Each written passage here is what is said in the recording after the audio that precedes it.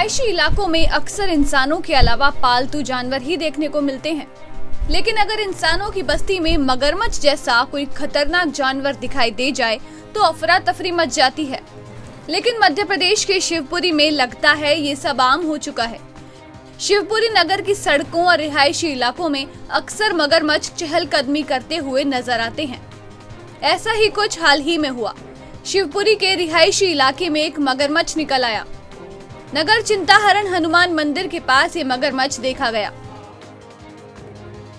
स्थानीय लोगों ने बताया कि ये लगभग सात फीट लंबा मगरमच्छ था जिसे उन्होंने पकड़कर खुद ही साइड में कर दिया।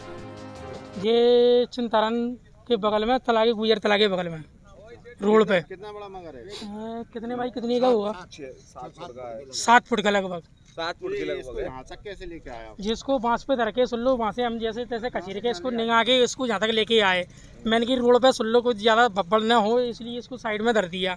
मैंने कि फॉरेस्ट वाले आएँगे तो इसको मैंने कि उनको संगे बजा देंगे और नहीं आए तो मैंने कि इसमें छोड़ देंगे। जब स्थानीय लोगों ने मगरमच्छ को देखा तो वन विभाग को सूचना दी।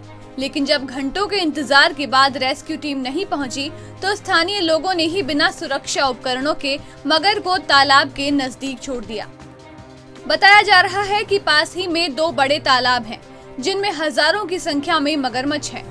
वहीं से निकलकर ये मगर रिहायशी इलाकों में पहुँच जाते हैं। वहीं जब इसकी सूचना पुलिस को लगी तो तत्काल पुलिस की टीम भी मौके पर पहुँच गई। सूचना एक अज्ञात व्यक्ति ने दी कि वहाँ पर बुंदरिया तालाब के बगल में मगर पड़ा हुआ है और जनता इकट्ठी हो रही है वहाँ पर उक्त तो सूचना के मैं सवेरे घूमने जाता हूँ उस टाइम पे मिली तो मैंने तोमर दीवान जी को फ़ोन करके बुलाया था। कितना बड़ा मगर है? मंगर करीबन छः सात फुट का लंबा है। तो इससे कोई जान का खतरा नहीं हाँ? बिल्कुल अगर हो सकता था।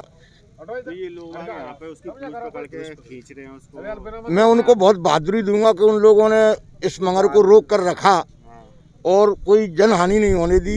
इसी बीच में मैं भी आ गया था मैं भी वहीं बना रहा था। जनहानि तो कोई नहीं हुई है।